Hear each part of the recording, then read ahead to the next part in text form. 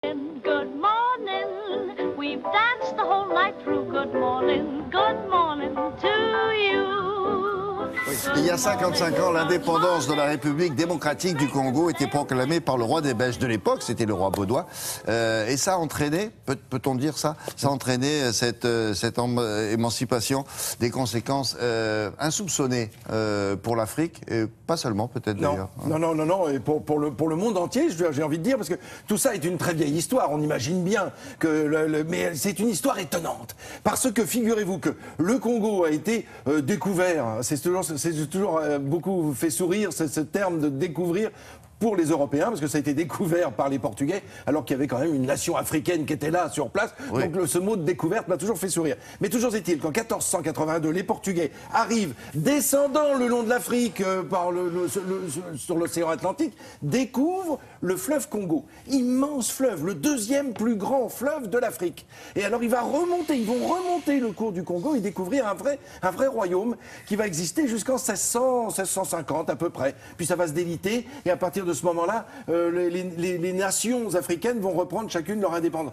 On voit là donc la carte de la République euh, du Congo. C'est ce pays qui nous intéresse aujourd'hui, la République démocratique du Congo, très exactement. Donc une fois qu'on a découvert ce pays, figurez-vous qu'il va devenir, le Congo dans son sens très large, c'est-à-dire tout autour du fleuve, va devenir la propriété d'un homme. Vous y croyez ça? Un seul homme. Il s'appelle le roi des Belges, il s'appelle Léopold II. Ce n'est pas la propriété de la Belgique, ça n'est pas la propriété du royaume, c'est la propriété de ce monsieur.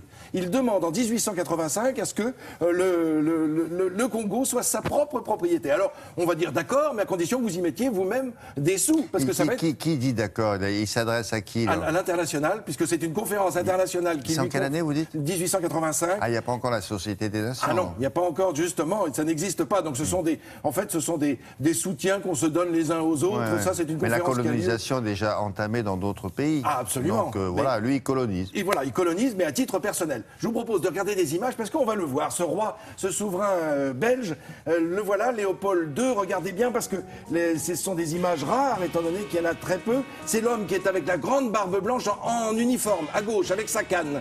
Le voilà, le, le roi. Celui qui met ses lunettes, Oui, absolument. C'était un monocle qui voulait regarder. Ah. Alors il charge cet autre homme bah, de, de découvrir un peu le Congo, si vous voulez. Il s'appelle Henry Morton Stanley, le fameux Stanley et C'est lui qui va parcourir une grande partie de ce, de ce pays et c'est le roi lui confie la tâche de prendre pied en son nom. Euh, en, euh, du- Mhm. sur la rive du Congo.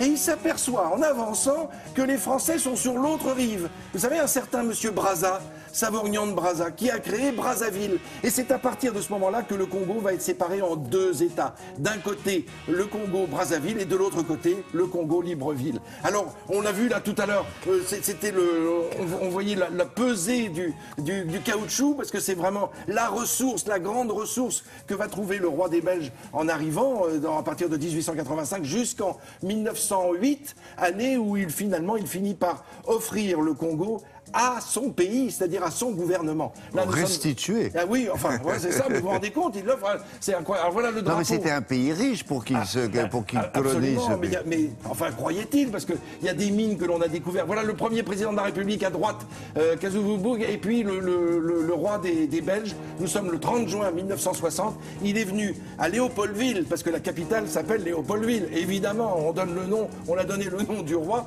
à, ce- à cette capitale, qui va se transformer en Kinshasa quelques années plus tard. C'est ce pays qui va se faire appeler Zaïre pendant un temps, puis à nouveau République démocratique du Congo. Il existe toujours. Pas de guerre, pas de, de, de Si, révolte. Si, dès, le- dès les premiers jours, il y a des, il y a des révoltes. Le, pro- le Premier ministre ne s'entend pas avec le président de la République. Le Premier ministre s'appelle Patrice Lumumba. On connaît cette histoire, on en a en tout cas entendu parler. Et puis dès, dès le, le mois de juillet-août 1960, un nouveau président arrive, euh, arrive en, en- en poste, c'est Moïse Tchombe. Enfin, on voit bien que ce sont des noms qui nous parle encore aujourd'hui. Et en 1965, euh, le président du, du Zaïre euh, sera euh, le président Mobutu, si célèbre avec ce- sa, sa toque en léopard, dont on se souvient. Merci beaucoup, Monsieur Gersal.